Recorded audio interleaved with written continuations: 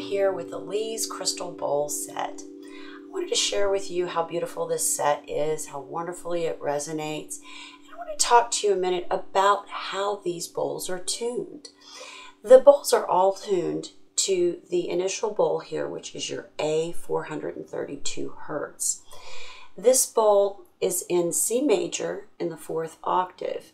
Each additional bowl after this will resonate to its own frequency. I'll give you an example. We'll start with the A this time. A, B, C,